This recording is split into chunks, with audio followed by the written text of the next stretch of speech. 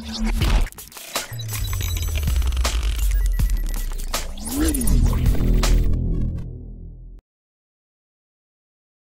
Friends sports பற்றின செய்திகளை உடனுக்குடன் தெரிஞ்சுக்கொள்ள நம்ம தமிழ் கிரிக்கெட் சேனலை சப்ஸ்கிரைப் பண்ணுங்க. இந்த ஆண்டுக்கான ஐபிஎல் போட்டியில் தன்னோட முதல் போட்டியில் விளையாடிய மும்பை இந்தியன்ஸ் அணி டெல்லி கேபிட்டல்ஸ் அணிக்கு எதிரான போட்டியில் வந்து தோத்துட்டாங்க.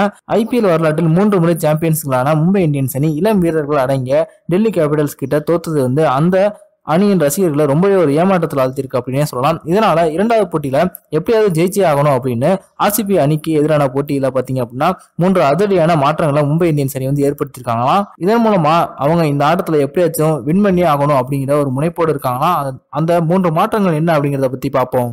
கடந்த ஆட்டத்துல பாத்தீங்க அப்படின்னா இளம் வீரர் ரிஷப் பந்த் மும்பை இந்தியன்ஸ் அணியின் டெத் ஓவர் அனைத்து பவுலர்களையுமே வந்து விளாசி எறிஞ்சார் அப்படின்னே சொல்லலாம். பும்ரா மெக்லநாகன் ஹார்திக் பாண்டியா அப்படின்னு எல்லா ஓவர்லையுமே அவர் வந்து சிக்ஸர் பவுண்டரியா அடிச்சாரு.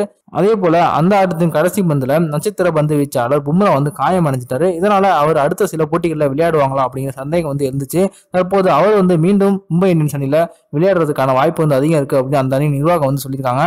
அதே போல கடைசி கட்ட ஓவர்களில் ரன்களை கட்டுப்படுத்துவதற்காக அந்த அணியின் அனுபவ பந்து வீச்சாளர் லசித் மலிங்கா வந்து மீண்டும் அணியில் எடுக்க போறாங்களாம். இதனால ஜஸ்பிரித் பும்ரா மற்றும் லசித் மலிங்கா இவங்களோட இந்த கூட்டணி வந்து கண்டிப்பா ஆர்சிபி அணிக்கு எதிரான போட்டியில டெத் ஓவர்ல சிறப்பான பந்து வீச்சை வெளிப்படுத்துவாங்க அப்படின்னு எதிர்பார்க்கப்படுகிறது. இரண்டாவது மாற்றம் என்ன அப்படின்னா மும்பை இந்தியன்ஸ் அணியில் பார்த்தீங்க அப்படின்னா குருணல் பாண்டியா இவர் மட்டும்தான் சுழல் பந்து வீச்சாளராக இருக்காங்க மற்ற எல்லாருமே வேகப்பந்து வீச்சாளர் தான் இருக்காங்க. இந்த ஐபிஎல் போட்டியில் பார்த்தீங்க அப்படின்னா வேகப்பந்து வீச்சை விட சுழல் பந்து வீச்சாளர்கள் தான் சிறப்பான பந்து வீச்சை வந்து வெளிப்படுத்துறாங்க. அதன் காரணத்தினால மும்பை இந்தியன்ஸ் அணியில் ஒரு கூடுதலாக ஒரு சுழற்பந்து வீச்சாளர் இருந்தால் நல்லா இருக்கும் அப்படிங்கிற ஒரு காரணத்துக்காக பார்த்தீங்க அப்படின்னா மயங்க் மார்க்கண்டே அப்படி இல்லைன்னா ராகுல் சகார் இவங்க இரண்டு பேர்த்துல யாராவது ஒரு ஆளை உள்ள எடுக்கலாம் அப்படிங்கிற ஒரு யோசனையை வந்து ரோஹித் சர்மாவுக்கு யுவராஜ் சிங் வந்து கொடுத்திருக்காங்களாம். இதனால மேலும் ஒரு சுழற்பந்து வீச்சாளர் மும்பை இந்தியன்ஸ் அணியில இணையத்துக்கு அதிகமான வாய்ப்பு இருக்கு. அதே போல மும்பை இந்தியன்ஸ் அணியில மிடில் ஆர்டர் பேட்ஸ்மேன்கள் வந்து சொதப்பின காரணத்தினால மும்பை இந்தியன்ஸ் அணி அந்த போட்டியில வந்து தோல்வி தழுவினாங்க.